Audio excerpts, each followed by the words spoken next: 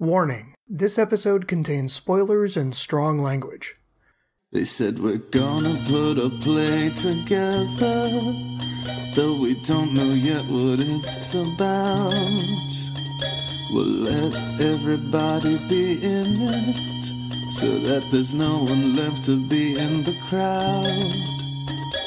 Now you think I'm wasting time here, not sculpting up an image to play.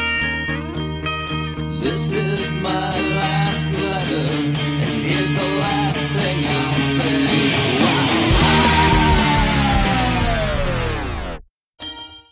Welcome, everybody, to the first of our decade recaps of Schumacast, where we're looking through the film career of Joel Schumacher. I am Noel, and joining me as always, I'm Angie. We wanted to just take a little break here between the films. We just wrapped up all of Joel's work in the 70s, and we just kind of wanted to have a little look back overview at the decade as a whole. We're not going to get too much into the individual films themselves. We have all the episodes available on the site, so you can absolutely go back and give those a listen if anything sounds more interesting that you want to learn more about. We hope that you're listening to every episode, anyways, right? Yeah. you wouldn't skip, would you? This isn't a cheat sheet. Right? Right?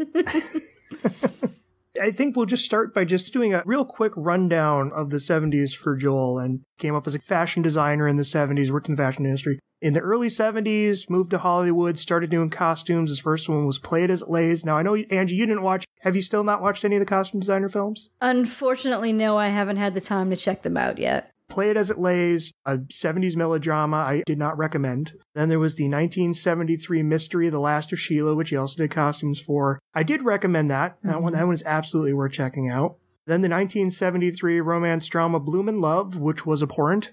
Well made, but abhorrent. Yeah, I remember that one. Oh, yeah. And then the 1973 film Sleeper, which probably his most striking costume design work, just because he got to do a sci-fi movie. That one I recommended, but with the Woody Allen caveat of it's a Woody Allen movie. Right. And that's not something that everyone's going to want to see. Yeah. And then the 1974 TV movie The Killer Bees, which was about killer bees and bees who killed people. It had its charms, it had its Z grade movie charms, but I did not recommend it. It was not a good movie. Yeah. But then that led us to our first main episode, the 1974 TV movie Virginia Hill, about the gangster girlfriend slash fiance of Bugsy Siegel and, and their attempts to create Las Vegas. Yes. And was this one that you recommended, Angie? No, I don't believe so. Yeah, I did not either. Just one of those kind of. Eh, Yeah. Bland. it was Joel's directorial debut, his first produced screenplay, and was just very obviously done on the cheap. Right. Very good way to get his foot in the door, but not making a mark just yet. Right, definitely, as you said, humble beginnings. Yes. And then he did some more costume design work with the 1975 film The Prisoner of Second Avenue, which was a Neil Simon comedy about a couple in New York. That one I definitely recommended. Very good mm-hmm. comedy. And then 1976 also saw the filming of Joel's very first screenplay, Sparkle, a Motown musical drama about three sisters trying to rise to the ranks of the music industry. And Angie, did you recommend this one? I did not recommend this one. I felt like it needed an extra rewrite or two to really get there. I did recommend it. It was wobbly, a little rough, but I still thought there was enough there that I really appreciated and enjoyed. Mm-hmm. And then for this one, we did also cover the 2012 remake. Yes. Did you recommend that? I liked that one much better. I agree too. Even though I recommend both, I think the 2012 one is a much stronger movie overall. And then the 1976 ensemble Car Wash about people in a car wash. did you recommend that? I'm trying to remember. I don't think I did, but it did have a lot of charm to at least some of the characters and scenes. So now I'm kind of like, maybe I should have recommended it. I don't know. Well, I remember you were thrown a bit just because you weren't used to that kind of slice of life. right. Yeah. It's never been my favorite kind of film Right. for sure. Yeah. And I highly recommended it. I think everything came together for me. But granted, I'm more used to that style. Mm-hmm. Yeah. And then in 1978, he did his last film as a costume designer with the Woody Allen drama Interiors, which, hmm. again, very well made movie, but has the Woody Allen caveat. Right. Though it has the bonus that Woody Allen's not in it, so you don't have to see him. and then the sweeping blockbuster spectacle musical that terribly bombed The Wiz. it was a very, very loose adaptation of the Broadway play that Joel wrote the adaptation of. Did you recommend The Wiz? I did not pacing was definitely the main villain for me this time. Right. I did recommend it because there was a lot of inventiveness to it, but oh, the pacing was bad. Yeah. That pacing was really bad. Finally, wrapping up the decade, we had the 1979 TV movie Amateur Night at the Dixie Bar and Grill, which I would argue is the first true Joel Schumacher movie because he got to direct his own story. It was his own original story. I think this is the nice stepping stone to end the decade on as we're moving in the next decade. Mm-hmm. Did you recommend Amateur Night at the Dixie Bar and Grill? I initially didn't, but then by the end of the discussion, I was like, wait, no, I do kind of like this movie. Because it's it is very charming. What's interesting is we end the decade on, I would actually almost say, humble beginnings again. Mm-hmm. This was his first true film and it was charming. Yeah, I'd agree. So now, looking at the decade as a whole, now it's kind of hard to say if this was like a big successful decade for him because it's literally a whole decade of him gradually getting up the steps to where he can finally become a. His end goal is to become a filmmaker, and that's where we're going to start the next decade on. Right. What did you think of the last decade in terms of just kind of seeing him go up those steps? I think there was definitely a little bit of shakiness in the beginning. Like I said, Virginia Hill being very much bland by the numbers, Sparkle having a little weakness there. But I think as the time went on, you could kind of see that his writing was growing.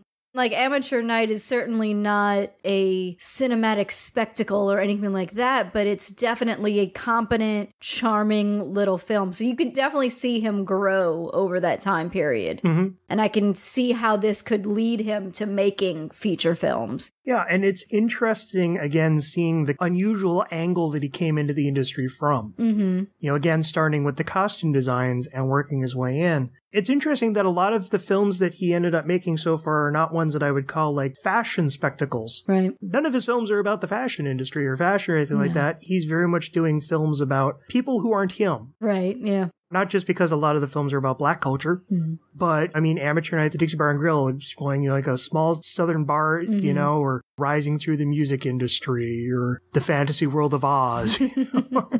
it's interesting seeing that he's a storyteller of perspective. Right. Especially with Amateur Night. Yeah. It seemed like he really made a point to present all these different perspectives of these kind of small town people. And that was really a nice touch. Yeah, I think that's a good through line through the films that he wrote. Mm-hmm. He's very good at building a community, Yes. finding a setting and populating that setting with people who explore all the various people of that setting. Mm-hmm. I think Virginia got away from him because it was too sprawling of a story to really work with that style. Yeah. But I mean, even Sparkle, it was a very tight cast, just kind of showing the rise through the music industry. It didn't quite have all the mechanics down yet, but mm-hmm. Car Wash, very much showing all these people around one community. Amateur Night showing that. Mm-hmm. Even The Wiz to a degree, even though it's a fantasy world and everything is more representative of a theme, Right. it was still interesting in how it had all these characters populate that theme. Yes. Yes. I think the other thing with Virginia Hill too to remember is he was technically going, you know, someone else started that script. Right. And he may not have had much freedom to play with it to begin with. To me, that seems more like just a job. It's the way to get the directing credit on your resume so you can keep going Right. than any kind of expression of his own work. I'm betting his rewrite on that was probably more sprawling. We don't have the money for it. We got to cut it down. Right, right. It doesn't feel like a film that anyone's particularly invested in. It's like, hey, it's a foot in the door movie. Yeah. Whereas I think even things like Sparkle, I think it's a story that has a lot of genuine heart and investment to it. But mm-hmm. again, he just didn't quite have the technique down. Right. Wasn't really paired with the best director. You know, Car I still think him and Michael Schultz clicked really well in that cast. Mm-hmm. I mean, I know it didn't have as strong of a plot through line, but Yeah. I really like seeing the development of how he'll literally just root into a location and find all these people within it, even though they're people who are outside of his life experience. Right. That alone makes me curious to go on and see more of his films. Mm-hmm. How is he going to keep building on that style and technique?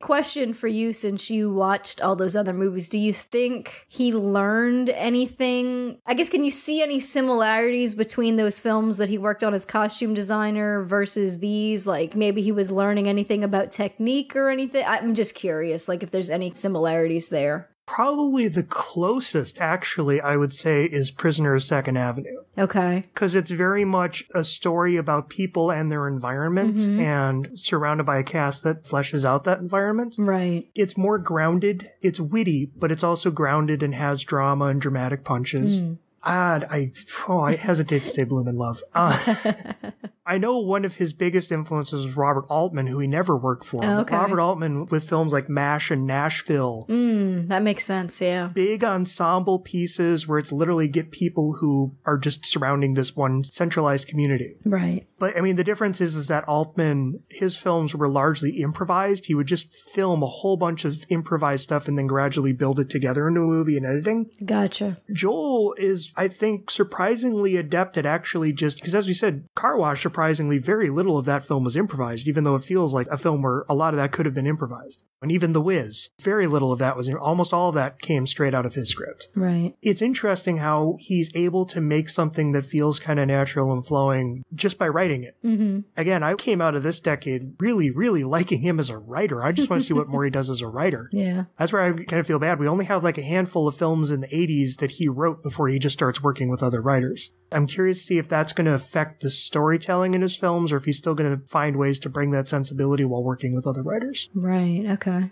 And are there any other like similar themes or stylistic things that leap out at you? Obviously, the main thing is that whole ensemble cast idea. I can't think of anything else. I mean, there was a lot of music. I guess that's for sure. Oh, yeah. Like, he's definitely a music fan. Well, I think that's because Motown produced like four. That does help, yes. That's very true.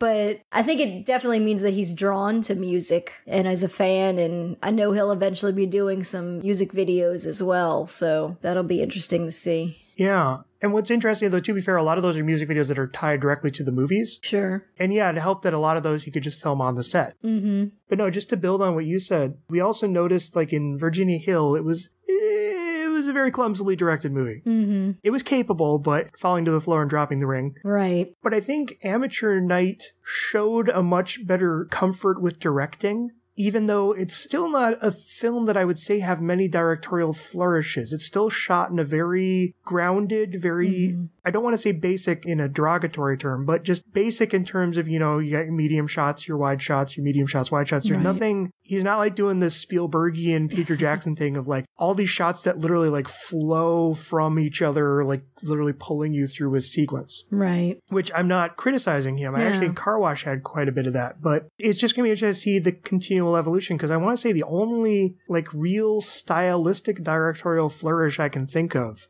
between those two movies are the one scene in Amateur Night at the Dixie Bar and Grill where the waitress goes up to sing to Cowboy and it's just slowly pushing in on her from across the entire bar from her and then gradually just pushes into a close up. I just thought that was a very simple shot, but I just thought it was delivered in a really skilled way. Yeah. I'm gonna be curious to see how well he handles like environment and moments and emotion and all that stuff. Right. And with a film budget, too, of course. That's going to be Yeah. a big difference as well. Definitely.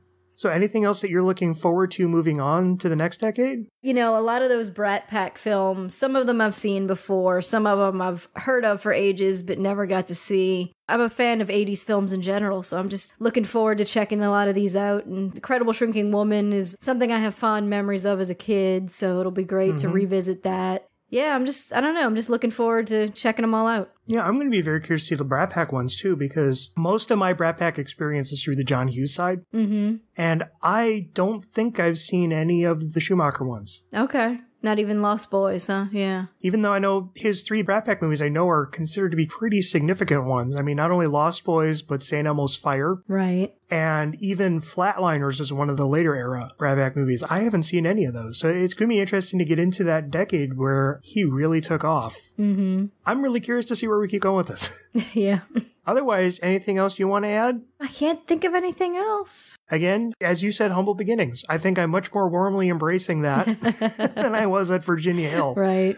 It was really interesting getting to see this start to his career. And again, coming in from a very unusual angle, but then making some really, he has not yet been involved in a film I would consider a great movie. Car Wash comes close for me. Mm. But I don't think, Virginia Hill aside, which was just bland and cheap, every one of them has been interesting. hmm.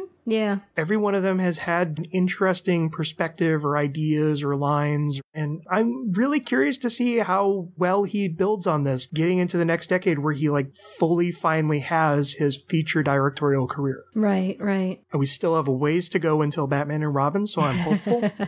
Yes. And honestly, I'm going to be curious to even revisit the Batman movies with all of this leading up to it. Yeah, yeah, I think it'll be interesting to see like of all this like stuff we've kind of seen building over time if that kind of changes my perspective on any of it. I don't know. I'm not expecting to suddenly love it. Yeah, yeah. But at least be kind of more at peace with it or understanding of it. Right. That's my hope. I was going to say I feel like I need to watch some of the 66 Batman for a little while too before I watch it. Maybe that'll help too. I don't know. Actually, that probably wouldn't be a bad idea since that's what he was going in for inspiration. Right. Watch the 66 movie. Oh yeah, there you go. You know, but that's probably not a bad idea. Right. So we still got a ways till we get there, though. Quite a ways, yes. So, anyways, thank you again for joining me, Angie. Of course. Thank you. All right, good night, everyone. Good night.